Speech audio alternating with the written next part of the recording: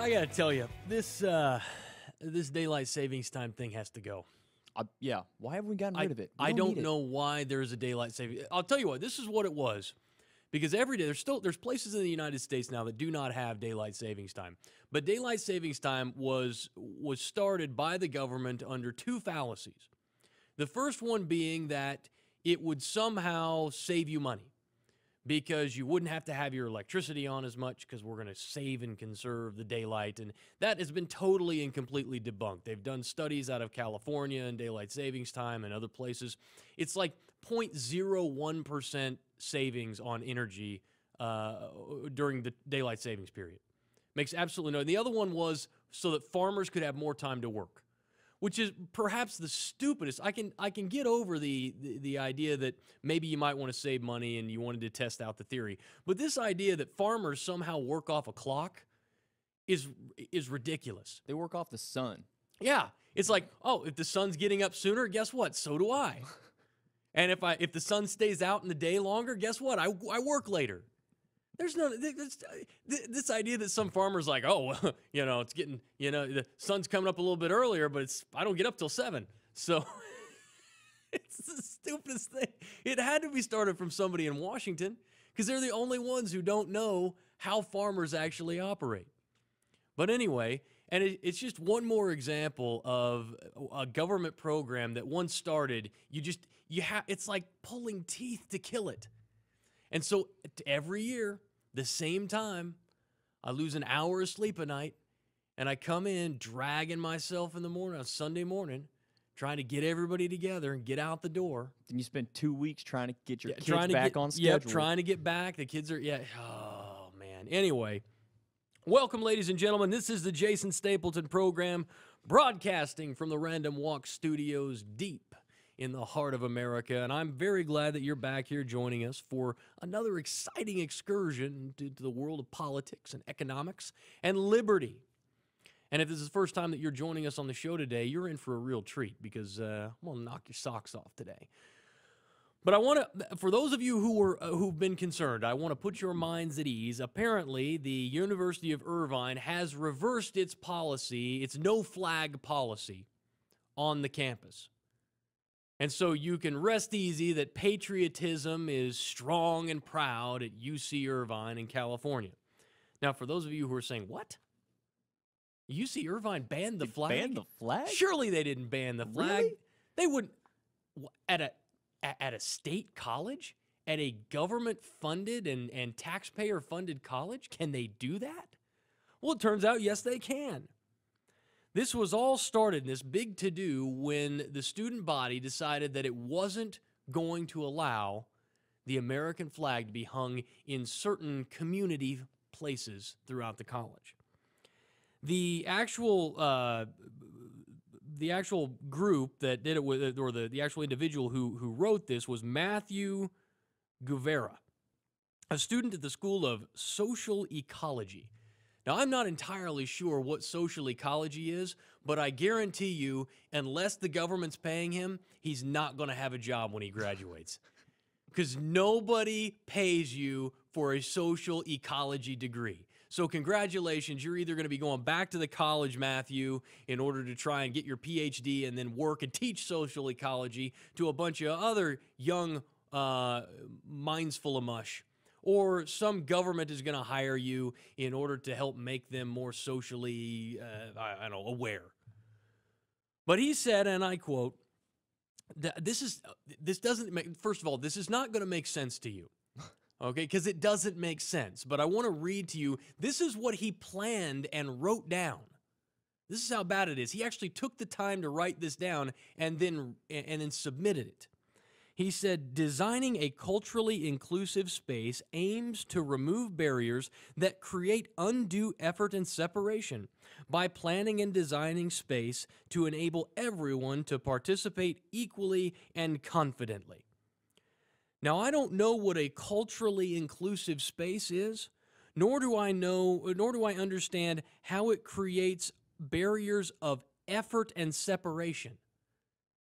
That let me read it to you again, and maybe some, one of you can send me a note on Twitter at Jason underscore Stapleton. That comes to my desk here. You can email me, Jason at theliveshow.tv. Maybe you can explain this. I need someone with a degree of with uh, of social ecology or just a a huge progressive to send me a note and explain this to me. Designing a culturally inclusive space aims to remove barriers that create undue effort and separation because we can't have undue effort.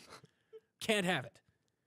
By planning and designing space that enables everyone to participate equally and confidently. The resolution continues. An American flag has been flown in instances of colonialism and imperialism.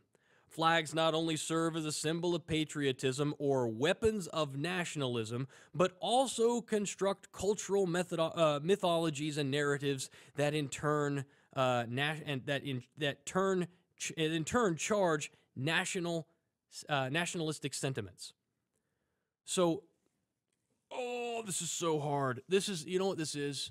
This is a 20 year old kid trying to sound smart. That's what this is.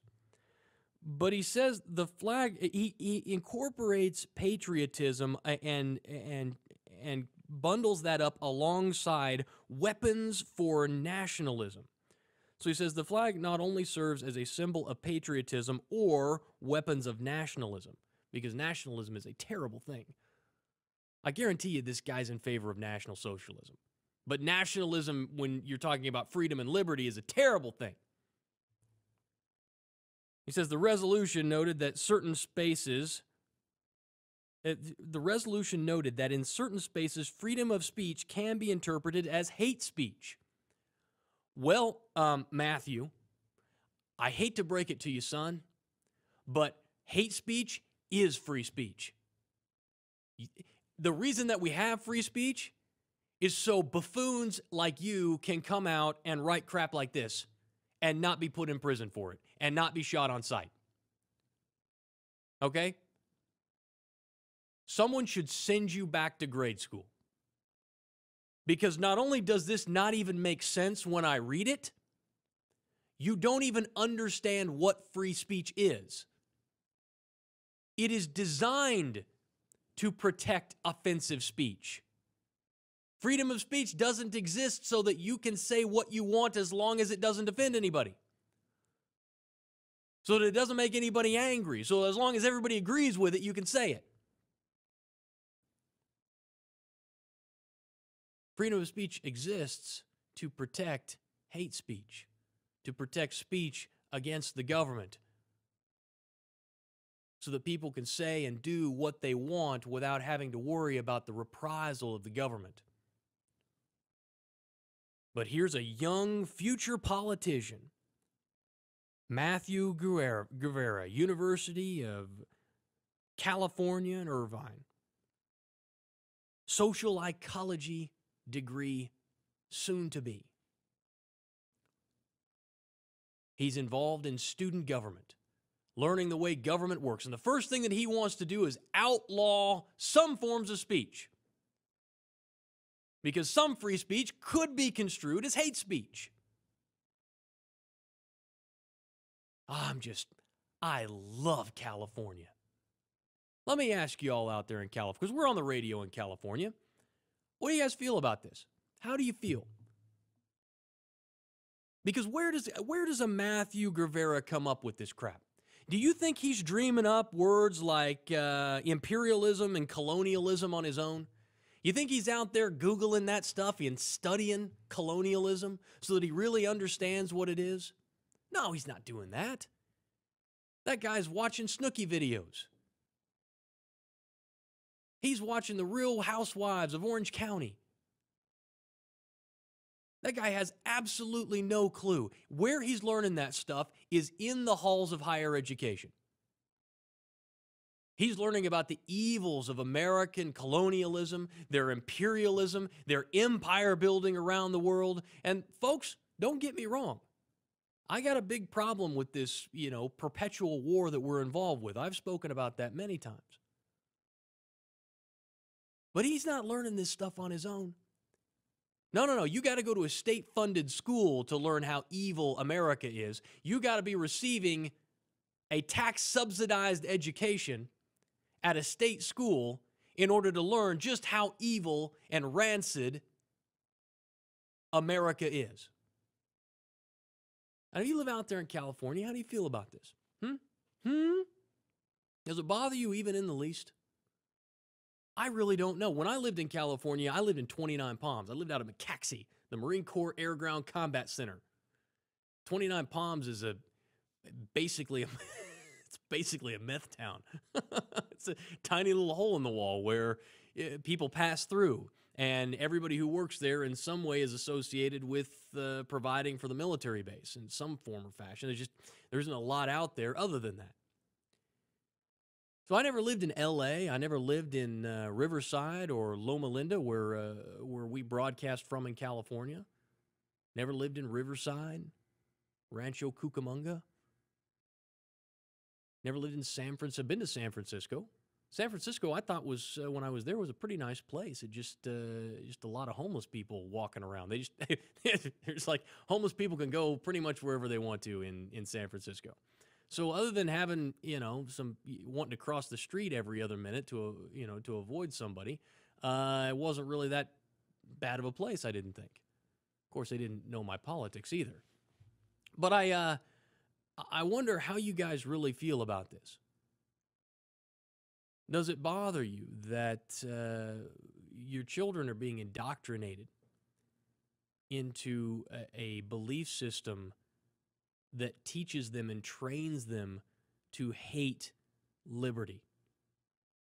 Because he's talking about imperialism and he's talking about colonialism. What he's really talking about are, are the folks inside his institution that are teaching him that everything about America is bad the way we grew up, the way we were founded, slavery, civil rights, our wars of oppression, that America is evil. And that he needs to take a stand. Matthew needs to take a stand. The school needs to take a stand. Because there's no way that we would be able to come together as a people as long as the American flag flies. Because the American flag doesn't stand for liberty in Matthew's mind. The American flag doesn't stand for unity. It doesn't stand a, as a beacon on a hill, as a shining light that says, Come here and be free. If you come here, you can do whatever you you can be whoever you want to be. You can do whatever you want to do. You can achieve. No one is going to hold you back. That's not what his America stands for because that's not what he's been taught America is. And folks, slowly but surely America is uh, straying farther and farther away from that. It's very, very difficult to say that we're now the America where anyone can come and where you can be free and you can, uh, where, where the, the, the, the tenets of liberty, this concept of libertarianism, the right to be left alone, these things are slipping further and further from our fingers due in large part to the fact that Matthew is going to this uh, University of California and receiving an education and an indoctrination into a belief that teaches him to hate America, to hate what we stand for. And, folks, if we don't start teaching our children, my daughter asked me yesterday why we pay taxes. Oh, I wish I would have fly on the wall. it was a difficult conversation to have with her at such a young age. My daughter is seven. But I talked with her about it. And as they get older, I'm going to share with them, and we're going to do everything we can to combat the constant influx of uh, uh of uh, of progressivism that pervades American culture. But some of you guys are waking up. Some of you guys are, are uh, America is waking up. I don't mean you guys because I know that you guys are awake. I know that you I know that you guys see what's going on. That's why you listen to this show every day. You come here to be empowered. My goal is to empower you. My goal is not to come here every day and teach you a bunch of bad news and to, and to share with you all the terrible things that are going on in the world so that you leave with a sense of hopelessness. No, University of Irvine did the right thing. There are people on their on their school board, namely the student government president, who said our campus is a patri- is patriotic and proud. We did something right for our campus in reversing what Matthew tried to do. There is hope, ladies and gentlemen. It all is not lost. I will not create a show where we come in every day and we talk about how, uh, you know, life is about ready to end, the sky is falling. Prepare yourself. That's not what this show is going to be about. But this goes directly to the education system that you are paying for if you live in California. And it goes directly to, at its very foundation, what we're teaching our children, how we're educating them, how involved we are with that education. I got to tell you guys, I do not like, I would much prefer if my kids went to school, the school taught them, they sent me back home and they just learned reading, writing, and arithmetic, and it was it all just went great. And that was one part of my life that I didn't have to worry about because I had the utmost confidence in the education system. My kids do not attend public school. And even though they don't attend public school, I still watch them like a hawk. Not only that, but in order for my kids to attend the school that they attend, I have to help them with homework. I don't I don't have a choice. Like it's required of me if I'm going to put my kids in that school that when they come home, they have parent assisted homework. It's stuff that we have to do together and I have to sign off on it. It's stuff they can't do alone.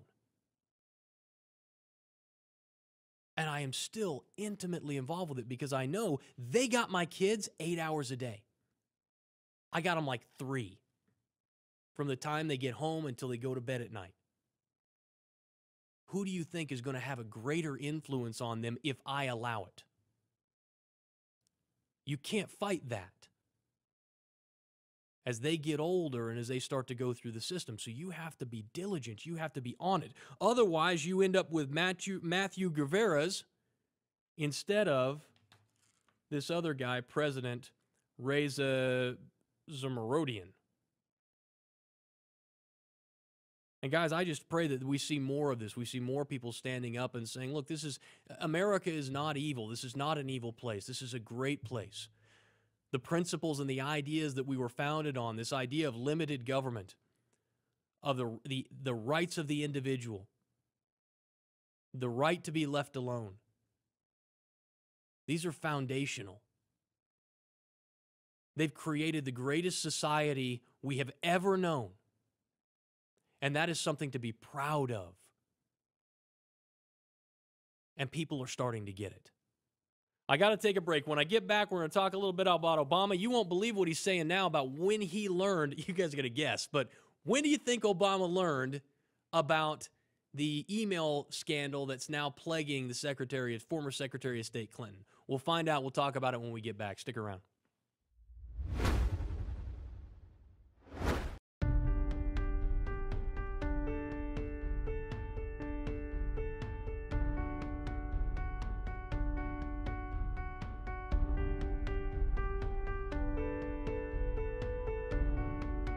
When I first think about the John Locke Foundation, the first thing that comes to mind is the fact that for 25 years they have been effectively representing freedom, liberty, and the best interests of the American people.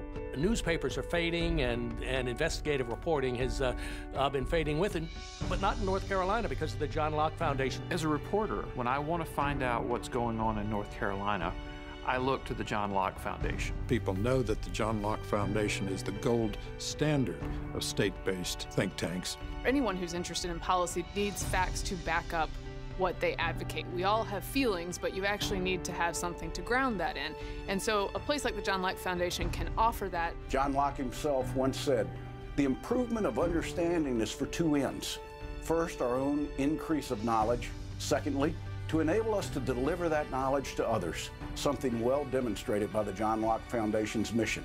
You know, what's important uh, to remember about the John Locke Foundation is the vision that Art Pope had 25 years ago to have a conservative state think tank that does solid research and has an impact on the state politically and in other ways as well. Without the John Locke Foundation, a lot of the positive changes that have come about in North Carolina simply would not have been thought of, would never have happened.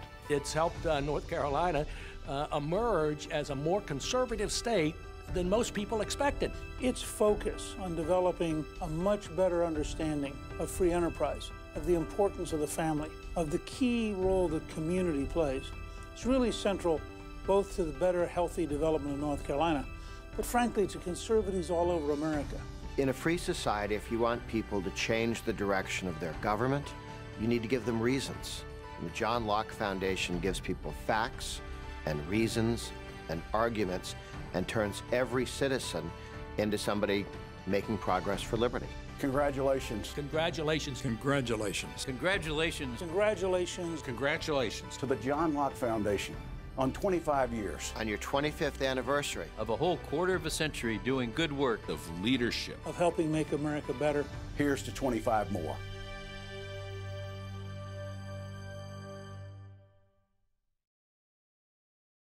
Government overreach is the problem. Common Core is the weapon.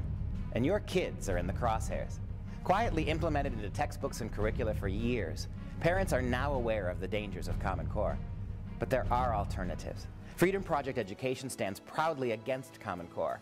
FPE is a private classical online school for students in kindergarten through high school, built firmly on Judeo Christian foundations. Freedom Project Education, teaching students how to think, not what to think. What you're witnessing is the truth, unfiltered and unashamed. This is the Jason Stapleton Program. Hey, welcome back, everyone. If you missed any part of the show, go to iTunes, go to Stitcher, go to uh, jasonstapleton.com, go to YouTube. I don't care where you go. I should probably narrow it down and just say go to iTunes. Because iTunes, for what we're doing, is really what matters in terms of uh, gaining our exposure and our credibility on the interwebs. Now, of course, we're on the radio and uh, and we're doing a lot of other promotion. But in order to see, help me see the growth of what's happening, I need you to go to iTunes. I need you to subscribe to the show, and if you are willing, if you love the show, leave me a uh, leave me a rating and leave me a review because that helps me immensely in promoting the show and saying, "Hey, look, you see, we've got nearly a hundred people who have ranked and who love this show, and we're getting."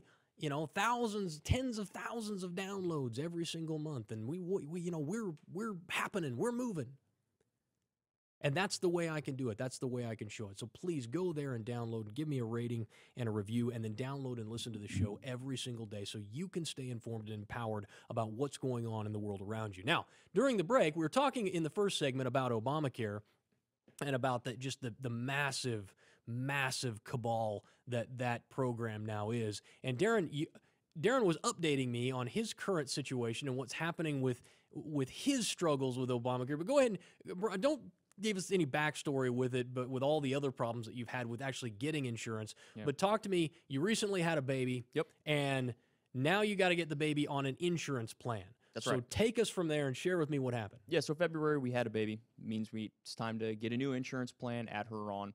So basically we, we qualify under the Obamacare exchange for a special enrollment period where you can go in, go to the website, go into my account. Basically what instead of just adding her to a plan, you have to create a whole new application with all of your information that they already have, but you got to do it again anyway. Add the new baby to the to the application and they show you what plans you qualify for, Mhm. right? So my wife stays on the same plan. I change my plan up a little bit, add the baby to the plan, and then we submit the application. Perfect, great. All right, so everything should be good, right?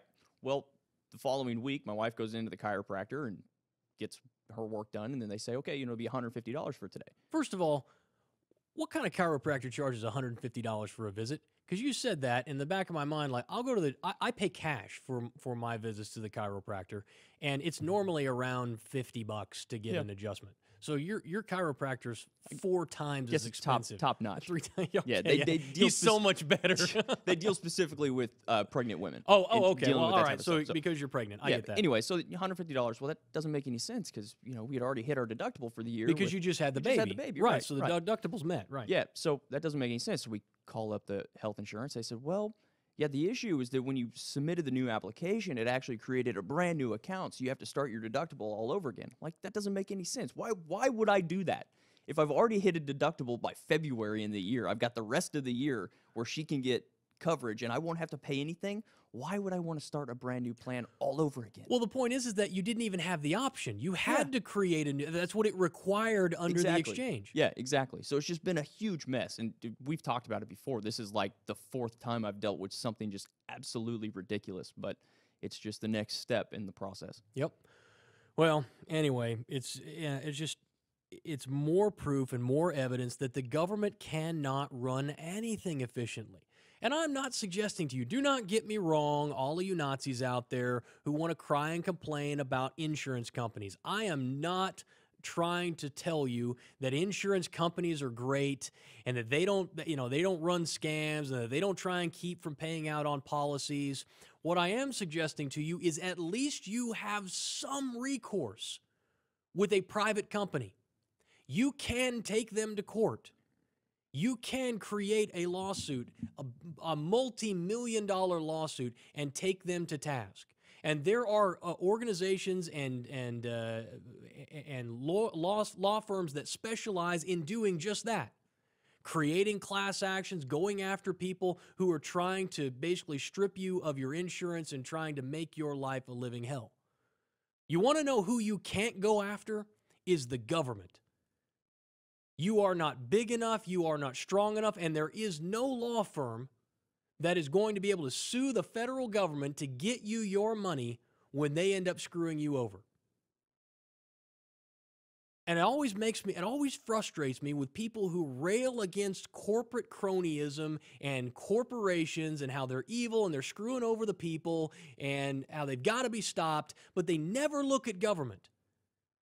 They never discuss that government is the largest and most powerful corporation in the world. It is the corporation that has the ability to compel you whether you want to or not.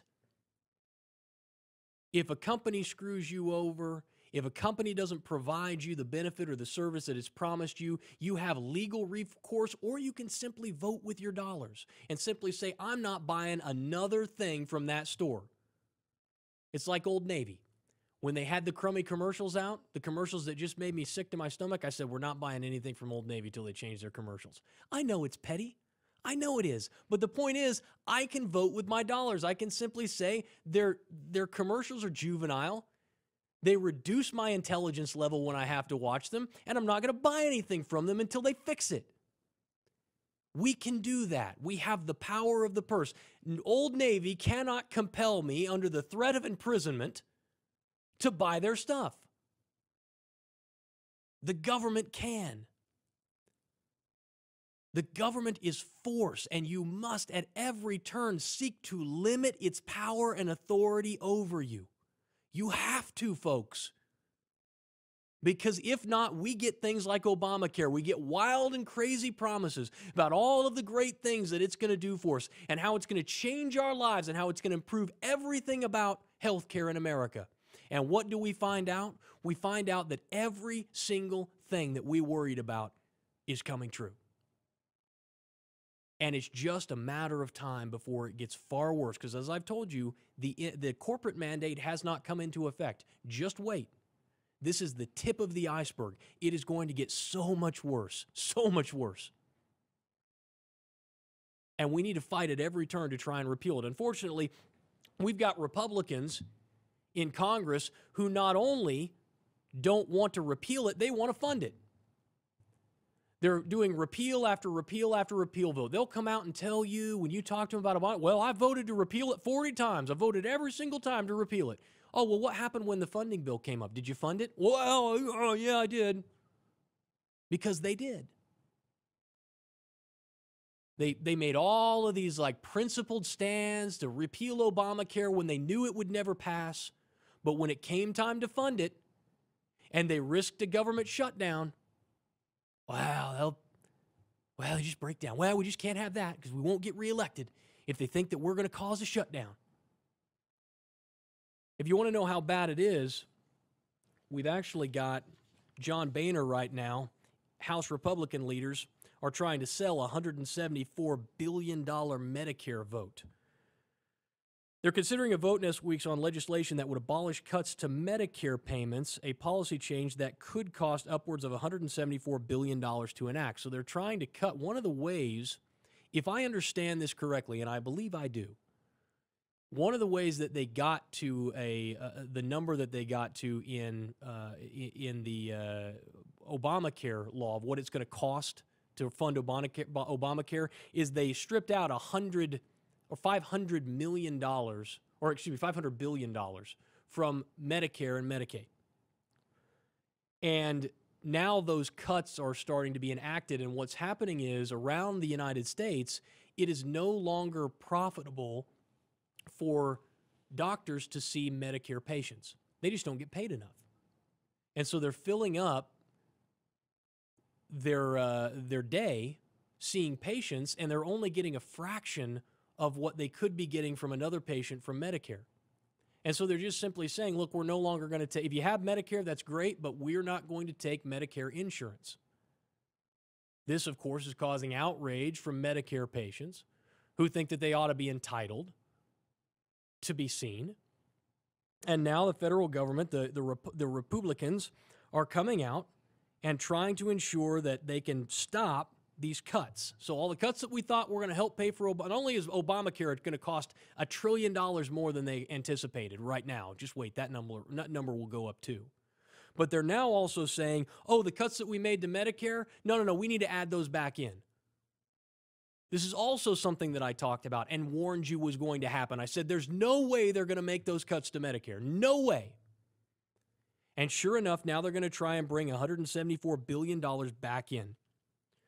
Speaker Boehner and his leadership team are quietly coordinating a bill in hopes of ending the decade long battle over how much doctors and healthcare providers should be paid for treating Medicare patients. Because you see, ladies and gentlemen, without the profit motive involved in the insurance subsidy that's being provided, there's no way for the government to be able to tell what their premiums should be, how much they should be charging, and what a what the correct price for a doctor's visit should be. This is what happens when you try and get a government subsidized program. Is it's bloated, it's layered with bureaucracy, there's massive amounts of waste, fraud, and abuse. And there are hundreds of billions of dollars that are constantly needed in addition to what's already there in order to be able to provide a substandard level of care. And instead of standing up again, instead of the instead of the Republican Party standing up and saying, "Look, we're not going to we can't do this we can project out, we can look at what's going to happen in the future with Medicare and Medicaid payments, and it's not going to be long before it consumes half of our budgets. The promises that we made, we cannot possibly fulfill on, and it's time to make a change. We, it's better that we start now. And which time that, Amer- that Americans be told, and it's time that Congress come clean with the American people and say, what we promised you, we can't possibly provide. There's no way government can provide this. But that's not what they're going to do because that's not what governments do. They'll continue to inflate the debt. They'll continue to take on more and more responsibility. They'll seek to retain more and more power and to strip more and more liberty from the people in the promise that they will provide them more and greater levels of security, which they cannot possibly provide. And then when it all comes to a head, when the entire thing is crashing down around them, the way that they will solve it is through inflating the currency. They will wipe out your savings. They will wipe out your future. They will wipe out the future of your children in order to pay for their bad decisions. That is the road that we are on, ladies and gentlemen. And if you want to fix it, you have to, it starts now. And that means all of you baby boomers out there saying, you know what? I know it's going to cost me more money. I may have to pick up a job because I didn't have enough saved. I may have extra expenses that come out, but we cannot have this Medicare and Medicaid program. It will crush us. It will crush my children and my grandchildren and my great grandchildren, and I will not saddle them with that burden. And for those of you who are young, those of you who are in that 25 year old to 30 year old age bracket, those of you who are coming up in the world, who have been made all of these promises and have been told that you're entitled to this or that or the other, you've got to wake up as well and you've got to say, look, I can't guarantee I can't be responsible for that. I can't rely on Social Security. Social Security is not going to be there for me. And number two, it shouldn't be there for me. Because I don't think it's right that the wealthy and successful generation, the baby boomers, who have an average net worth of $174,000 are taxing me every single month at, who makes $30,000 a year and doesn't have a penny to his name to pay for their retirement.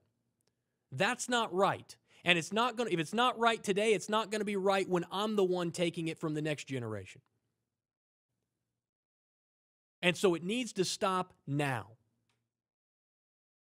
And so rather than continuing to vote myself more and more money that belongs to someone else, I'm going to take a stand and say it stops now. I'm going to be responsible for my own life. I'm going to be responsible for my own retirement. I'm going to be responsible for finding and retaining my own job. And if I can't find one, then I'll start my own. And if the government bureaucracy and the regulation and the oversight is too great, then I'm going to stand up and fight to have it repealed. I'm going to stand on the side of liberty. I am going to stand with those who stand with liberty. You've got to make that decision. You've got to make that stand. Because if you don't, then we are lost. If you continue in the vein that your parents and your grandparents have taken us in, if you continue down that road, young people, it leads to disaster. It leads to statism, it leads to socialism, it leads to breadlines, and it leads to poverty. And we can't let that happen. Back after this.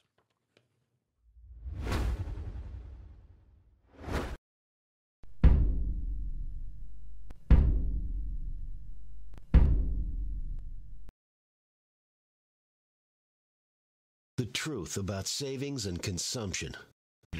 We've all heard that consumption and spending grow the economy. Turns out that's wrong. In fact, the exact opposite is true. It's savings and production which make the economy grow, not consumption and spending. Here's a fact. Society wouldn't become wealthier if everyone just ran out and bought boats and houses and cars. If that were true, the larger everyone made their credit card debt, the wealthier we'd be. Something seems fishy. Think about it this way. A healthy economy is made up of goods and services people want. If we want to understand why some economies have a lot of goods and others few, we have to ask just how does the amount of goods in an economy grow?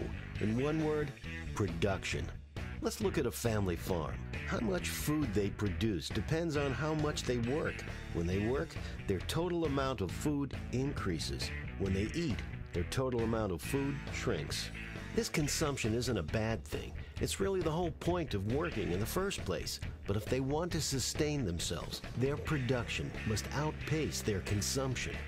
What if they decide to build a plow to help increase their productivity? With a plow, they could produce twice as much in half the time. Well, plows don't just pop out of thin air. It takes time to make them. And while it's being constructed, those workers won't be producing any food. They'll just be consuming it.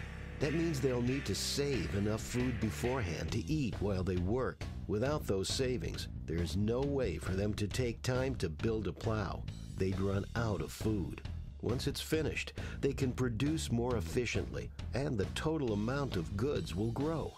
On top of that, because they no longer have to worry about starving, time is freed up. They can now choose to produce other goods or services, or just relax and enjoy their free time. And this is what happens in the large scale economy. Factories and bulldozers don't just pop out of thin air either. They have to be constructed with a pool of savings as well. Here's how it works. In a free market, when people save their money and don't spend it, capital piles up in banks. In turn, this money is lent to entrepreneurs who use it to purchase or create equipment, which expands their business and increases their level of production. And get this the more goods that are being produced, the more savings that become available. As this pile of savings grows, even larger loans become available to even more entrepreneurs. This makes an economy grow exponentially. All of this is made possible only by savings. Without it, there wouldn't be any capital available to borrow and economic expansion would come to a halt. An economy based on consumption and not production can only last until there are no more goods to consume. To learn more about sound economics, visit fee.org.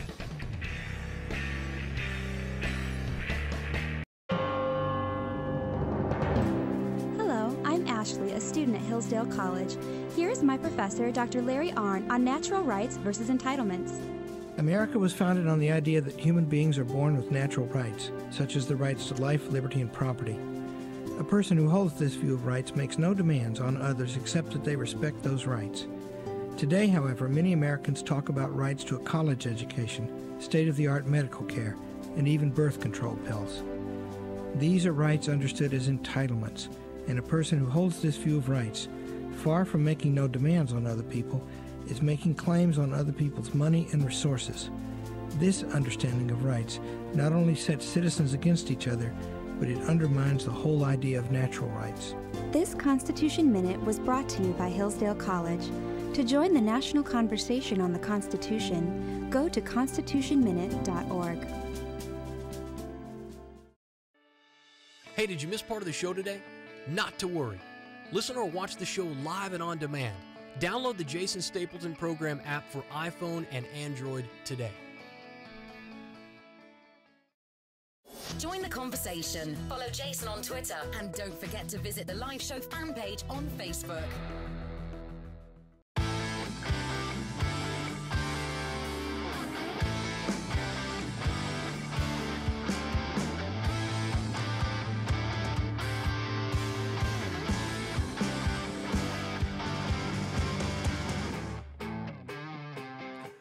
Welcome back, everybody. This is the Jason Stapleton program. Do you see this? Uh, this 95 year old man sets new 200 meter record. You see this guy? I've got to go to jasonstapleton.com unless you're watching the video version of this. The guy's 95 years old, and there's a video of him running the 200 meters, and he's hauling.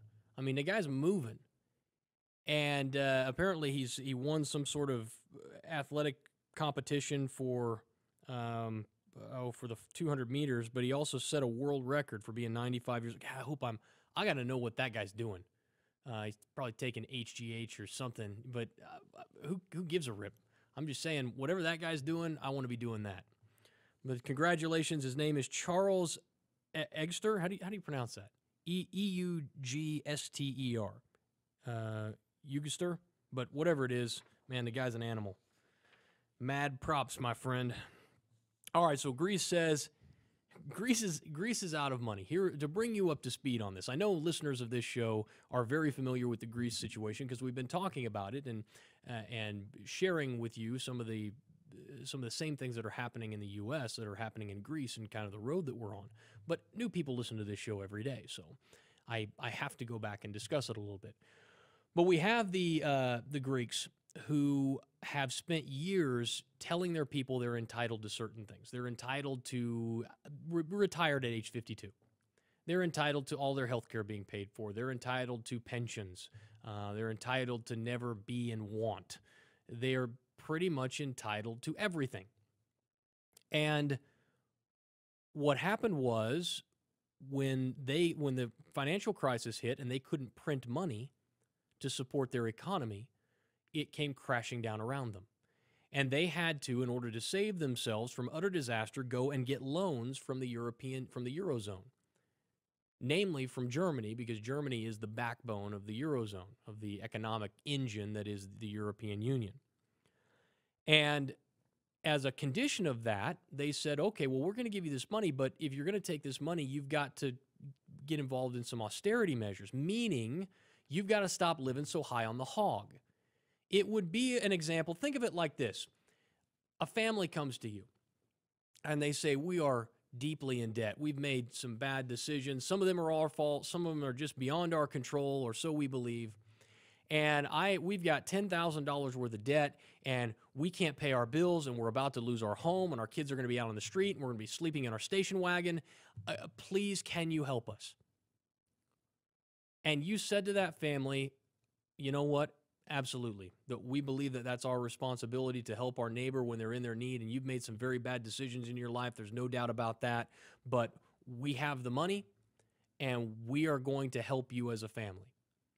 However, we want you to come over and let's lay out all of your bills. Let's look at everything that you're doing. And, uh, and we're gonna you're gonna have to make some adjustments to make sure this doesn't happen again. They say okay, so they come over and they say okay, well here's the deal you guys make $60,000 a year between the two of you, husband and wife. You're spending $80,000 a year. So here's what you're going to have to do um, no more pedicures. Uh, no more massages. You're going to stop getting your hair done every week. No more shopping. No new clothes. You're going to start shopping at the secondhand store. And we're going to get you underneath that $60,000 limit. And they say, okay, yeah, no, no problem. We'll do that. We'll do that and uh, but we really need to get some money for our bills because our mortgage payment is coming due. Say, okay, well, here's what we're going to do. We're going to pay your mortgage payment. But then we want to see some of these things happen. We see you sell the stuff that we told you to sell and make the changes. And they say, okay, and they're so appreciative, and they leave, and it's great, and they get their mortgage payment, and then you come back to them the next month, and they say, hey, we need another mortgage payment. We're, we're you know, we got to pay these credit card bills. And you say, okay, show me your spending for this month. And you see that they didn't make any of the changes. None of them what would you do? He'd say, well, well, look, we're not going to continue to pay your mortgage and to pay your credit card bills when you are not changing your lifestyle. You're living way beyond your means, and we're not going to continue to fund this. And then the, the, the other family says to you, Well, you promised to do this. You said you were going to do it. You owe us. You said you were going to do it. We're not going to take this anymore. We're, we're done living by your rules. We're done living by your standard. We're going to do our own thing. But you need to keep paying us. That is what Greece has done to the Eurozone. That's what Greece is doing to Germany. It's just simply saying, look, we don't care. We're going to live however we want to live. We're going to spend as much money as we want to spend. We think it's draconian that you would tell us we can't get our hair and nails done. I mean, what are we, animals? We're not going to live like this. And Germany is essentially saying, well, you don't make the austerity measures, you're not getting the money.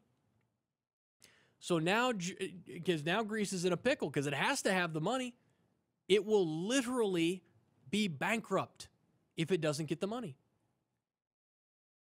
And so the radical leftist Greek government insisted Tuesday that the debt ridden country has never been fully compensated by Germany for its brutal World War II Nazi occupation, linking the issue with Greece's fraught bailout negotiations. So, since it cannot force Germany and the Eurozone to give them money, it is now going to take up reparations. Now, let's talk about what happened back in 44. Reparations! In the 1940s, you guys came in and you destroyed our infrastructure and you destroyed our buildings, and we have never been fully compensated for that. Problem is, in 1960s, there was a reparations deal with Germany. But Traperas, who is the president, says that that of Greece did said that didn't even come close to covering the the costs that we were that we incurred from World War II. He goes on to say um, Trasperas told Parliament that Greek would honor its obligations to bail out creditors, meaning we're gonna we're gonna fulfill our end of the bargain. We're gonna take care of the creditors. We're gonna bail them out with what? You've got no money. You have nothing. You're bankrupt. Your whole society will crumble without the help of someone else. Oh, we're no, we'll meet our obligations, but won't abandon its irrevoc- irre- irre- irrevocable demand that World War II reparations be paid. He goes on to say, We're not giving lessons in morality, but we will not accept lessons in morality either. He spoke these words during a debate of a, uh, to uh, revive a special parliamentary committee on demanding German war reparations. This is a this is a man without hope and without options. He's clinging, clinging to straws, just hoping, praying that something bites and he'll be able to go back and say, "Oh, oh yeah, we, we did it. We uh we got it. We got some money. We got some money." But the money's not there, folks. This is what happens. Eventually, you run out of other people's money. Greek ran out of its own money. He ran out of its people's money. It then turned to Germany into the Eurozone. It's now run out of their money. It has no other options. The best thing that the Eurozone can do is cut Greece off. If they do that, if they will cut Greece off, Greece will be forced to make the decisions. It will not have any choice. That is the only way. You know how you cure a junkie? Cold turkey. I remember being in the in the jail and the worst kind of drug addicts you would get were alcoholics. Absolutely the worst. The worst detoxes that you saw were alcoholic detoxes. They were scary because they would have hallucinations, bouts of screaming fits. It was we had to have them in padded padded cells because they would hurt themselves. But the way you do it is you put them in the cell and you let them detox. The only way for Greece to detox off of its uh, addiction to other people's money is to ensure that they don't get anybody else's. And they can blame whoever they want to blame, but ultimately they're in the bed, they're in the grave that they dug. All right. So, Darren, how should we finish the show today? Should we talk about I don't want to talk about the Nevada family. Oh, that's what I was about to say. Is that what you want to Yeah, do? I got four minutes left in the show. Let me see what I can do with this. All right. Nevada family seeks law, uh, seeks, uh, uh, Nevada family seeks law change after being told they cannot raise foster children due to firearms. Mr. Wilson and his wife Valerie applied to become foster parents in 2013. After a three month process, which included 10 weeks of parenting classes and multiple home study visits, the couple was told that they would be denied foster parent status because of their refusal to comply with the demand from the state de- uh, from the state's Department of Family Services that they not carry any weapon when foster children are present. So, what the state has basically said is if you choose to use your Second Amendment right to bear arms, your constitutional right, if you choose to exercise that right, you are unfit to take children. Doesn't matter what kind of family you are, doesn't matter what, you know, how much money you have, how much you really want and love kids. Nope. If you choose to exercise your Second Amendment right, you cannot have children. Now, let me present to you a scenario. What if someone said if you choose to exercise your First Amendment right, your freedom to exercise your religion, because you have a Quran in your home, or because you have a Bible in your home, that you're not fit